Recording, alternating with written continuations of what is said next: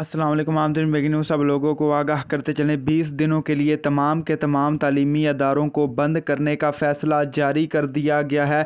Education department की जानब से अभी अभी बहुत ही बड़ा फ़ैसला सुना दिया गया है। तालीमी अदारों की बंदिश के हवाले से बड़ी अपडेट निकल कर सामने आ चुकी है। आगे चल के मुकम्मल तफसील को शेयर करने वाले हैं।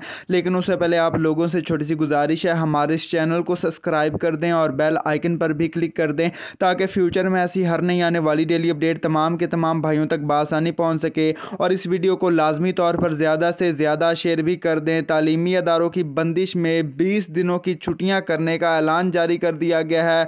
इस वक्त बलोचिस्तान के अंदर काफ़ी ज़्यादा हालात ख़राब हो चुके हैं। इंतहाई ख़तरनाक किस्म की धुंध इस वक्त पूरे बलोचिस्तान के अंदर फैल चुकी है, जिसके मुताबिक महकमा मौसमियात की जानब से इस वक्त पूरा दिसंबर का महीना ही अलर्ट और एमरजेंसी एजेंसी को नाफिज कर दिया गया और वहाँ की एजुकेशन डिपार्टमेंट की जानब से जितने भी तलबा तलबात हैं जो कि इस वक्त धुंध वाले इलाकों के अंदर ख़ास तौर पर मौजूद हैं, वहाँ पर उनको बीस दिनों की छुट्टियाँ जारी करने का, छुट्टियाँ करने का ऐलान जारी कर दिया गया। मजीद कोई एजुकेशन के हवाले से अपडेट निकल कर सामने आती है तो वो भी हम आप लोगों को शेयर